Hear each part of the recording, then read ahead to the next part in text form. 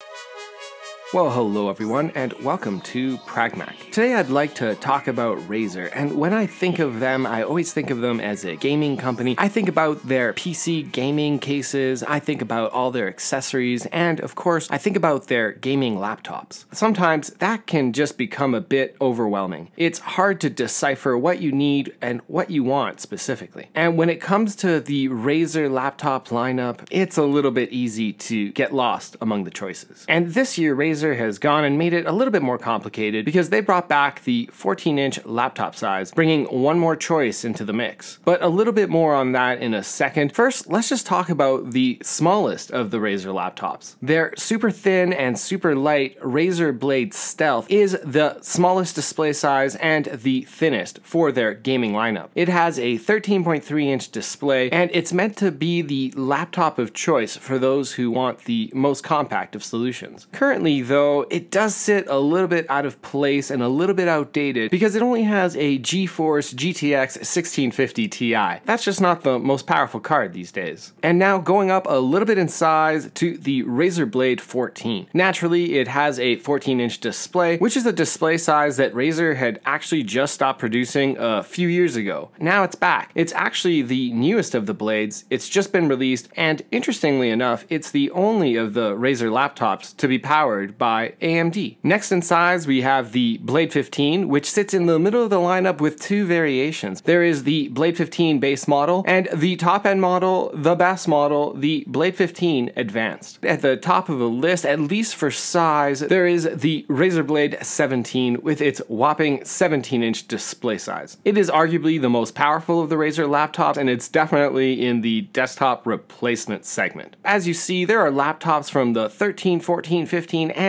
17 inch display sizes. I think at the bottom end and the high end, so with the Razer Blade Stealth, I think it's an easy decision whether you want it or not. If you want the best in graphics, you're not going to want it. But if you want the thinnest and you want Intel, it's going to be an easy choice for you to go that route. And in the same vein, when you look at the Razer Blade 17, if you want the biggest laptop, if you need a 17 inch display, if you want that desktop replacement experience, or even the ability to travel around with a very large laptop, it's simple. You're going to go with the Blade 17. But I think because the prices somewhat overlap and they're very close, I think where you want to spend the bulk of the time with your comparison shopping is going to be between the Blade 14 and the Blade 15. Having a good comparative breakdown of these two laptops and seeing what we can find out. As you see, making choices is tough and it's best to have all the most relevant information before having to come to a decision. Comparing the Razer Blade 14 and Razer Blade 15 is very natural. They both currently have RTX 30 series graphics. Let's just begin by pointing out the big differences, which I'm gonna try and minimize. That's the screen size. As the Blade 15 touts the larger 1.6 inch display size, makes it simple. If you're looking for the biggest display, the further we compare these two and the closer the pricing gets, it's gonna be a tough sell not to get the Blade 15. If display size is your main concern, I think the deeper we get into things, the Blade 15 is truly gonna show its value. For a quick overlay, you can see how these two displays compare from a size perspective, what the real estate difference is going to be relative from one to the other. Moving on from display size to physical size, there is an interesting breakdown between these three laptops. As I stated before, there's actually two versions of the Blade 15, the base model and the advanced model, and when we compare the Blade 14 against these two Blade 15s, we find something very interesting in that the Blade 15 advanced model is actually the thinnest of all three laptops. However, it's not the lightest. The lightest of all three, that goes to the Blade 14. It is the lightest and it's actually pretty thin. Then there is the Blade 15 base model. Simple. It's the bulkiest and it's the heaviest. That's why it's the base model. Let's stop and let's remember that the thickness and weight of a laptop is not always the most important. If it was, if portability is your focus, then the deeper and deeper we get into this comparison, the Blade 14 and the power within it is gonna really show its value because it has a really good power to portability ratio. At the same time, the Blade 15 Advanced model is very thin and also packs a lot of power with the larger display size. So things are just not as simple as they seem. So let's take a deeper look at the internals. As I mentioned before, the Blade 14 is the only Razer Blade laptop to be powered by AMD. It is powered by a Ryzen 9 5900HX. Having a look at the Razer Blade 15, both the base model and the advanced model come equipped with an Intel Core i7. They both have the same processor, an 11800H, making at least the Blade 15 base and advanced models easy to compare, at least against each other, as they have the same chipset. When we look at the AMD chipset versus the Intel chipset, they both have 8 physical cores and 16 threads, putting them on pretty equal footing. Just as a reference, I did do some research on how these chipsets benchmarked. From what I saw, and in my opinion, they're pretty similar. For certain software or perhaps certain games, there might be one that stands out above the other. Generally speaking, I think we can proceed in the comparison by saying that they are similar enough, neither is going to justify getting one blade over the other. Unless, of course, you really do have a preference for one chip manufacturer over another. I know there is a personal preference for AMD over Intel and vice versa.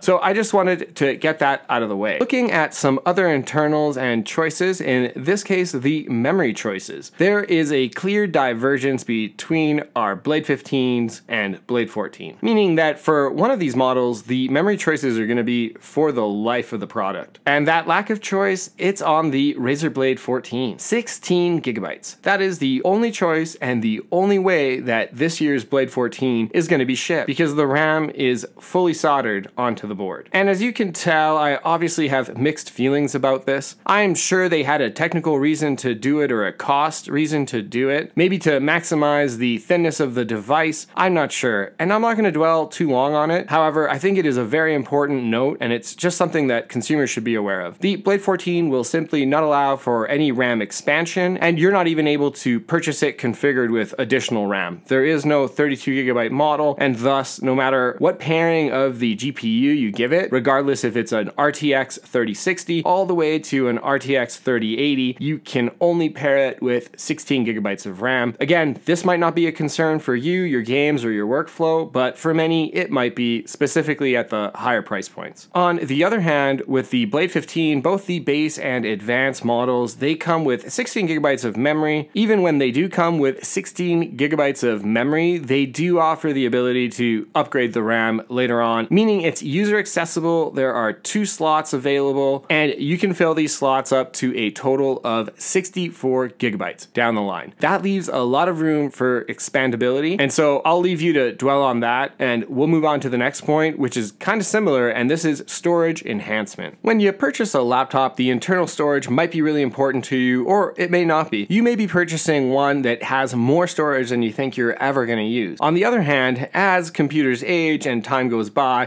files just get bigger and maybe our requirements follow suit, meaning we just need more storage. Having a look at the internal storage capabilities of the Blade 14 versus the Blade 15s, there is that similar issue of expandability that we saw with the RAM. Now, this time there, there isn't anything to be concerned about. There's no soldered drives for the Blade 14. It does have an M.2 NVMe slot and it's user accessible. No worries there. However, there is only one slot. And what that means is if you want to expand your storage, you have to swap out the existing storage. So you're spending money while losing storage at the same time, making it a little bit of difficult when you have to swap out a good drive just to expand on your storage. The Blade 15s, however, they do offer a better alternative, and that is they have two M.2 slots. One is being used for the base storage, and the other one is being left open, which is perfect for expandability down the road. What that does is it makes it really easy. It doesn't force anyone to have to remove a drive. Rather, they're able to go purchase and add in a drive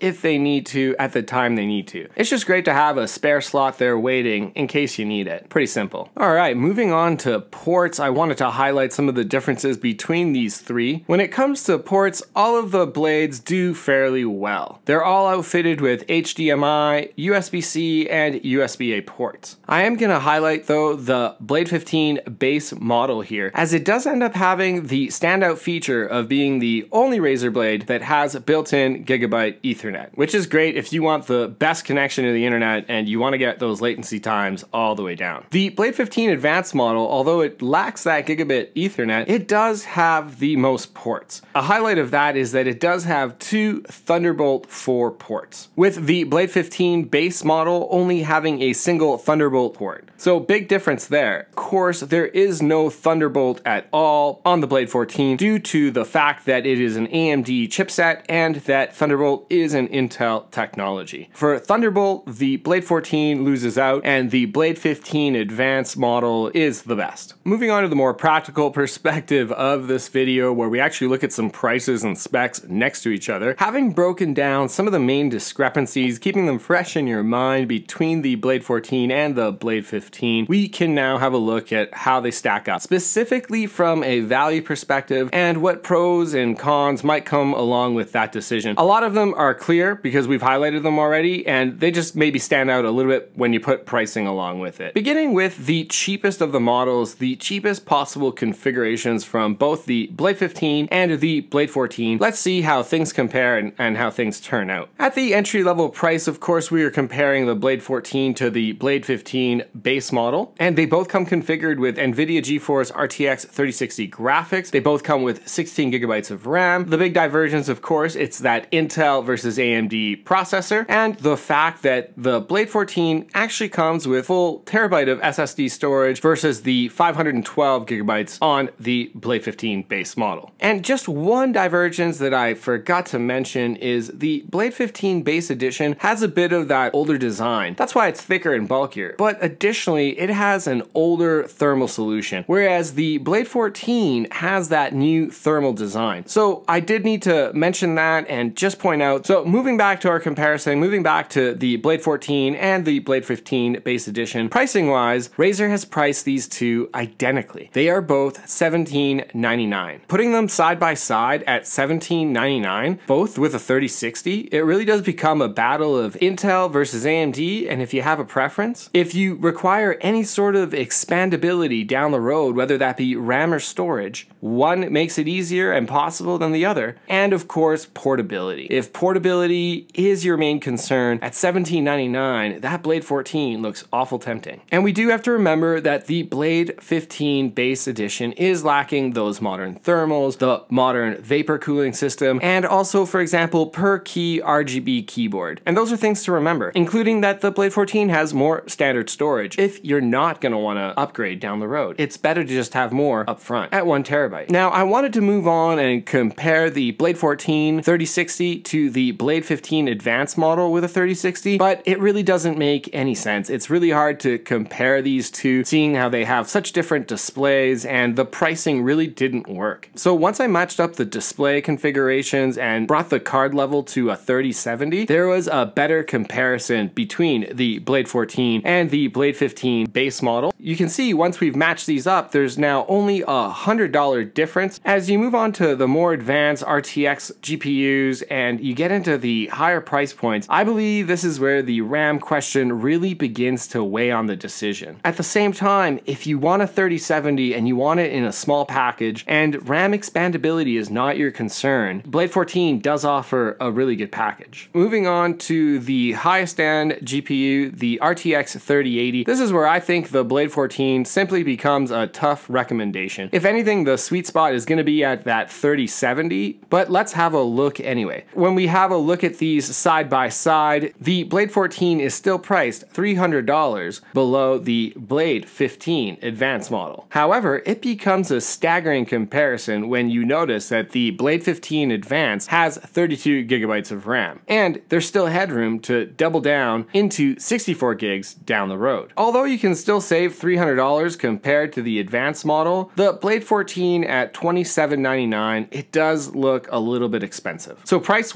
it definitely does stay competitive with the larger counterpart. At the same time, the portability flash begins to wear off at such a high price point with no ability to ever breathe life into that device later on. And now that we've reviewed the pricing, some of the differences, and some of the similarities between these three laptops, let's look at some possible reasons to get each of these models. Starting with the Blade 14, it's very thin and it's the most portable, and it can pack the latest and greatest in 30 series NVIDIA graphics. It has modern cooling, it has some great port choices. At the low end, it is surprisingly competitive, priced the same as the Blade 15 base edition. Buyers should think long and hard about their RAM requirements, and if they are okay with that 16 gigabytes of RAM, it is possibly the best choice and the best price if you don't plan on doing any sort of upgrades down the road. Reasons to get the Blade 15 base edition, well, it's gonna be your love of Intel. I'm just joking. I think it's the long-term desire to upgrade or totally replace the onboard RAM. Maybe you want that spare slot for some more storage expansion. It's gonna be thicker, it's gonna be bigger, and it's not necessarily gonna be more powerful than the Blade 14, but you are gonna get a larger display and you're not gonna have to spend any more money. You're gonna have that possibility to upgrade things later on. You do have to take the older design, but hey, you get Gigabit Ethernet, so that's a win. And when it comes to getting the Razer Blade 15 Advanced model, I think that's because you're going into the higher end models, you're gonna get the higher end graphics cards. In the end, Razer has offered a lot of choice for customers, and in many ways, they've made things simple and complicated all at the same time. So just have a further look at that lineup and see what's best for you. Thank you everyone, and thank you for listening to my thoughts. I'd love to hear yours. Which model do you think is the best value, and what configuration would you choose? Let me know your thoughts in the comment section below. If you've enjoyed this video, please consider giving it a like. It is most beneficial for me and most beneficial for the channel. As always, I want to thank you for joining me on this discussion, and I want to say, if you've enjoyed it, maybe you'll enjoy the next one, so consider subscribing to the channel. As always, thank you from Pragmach.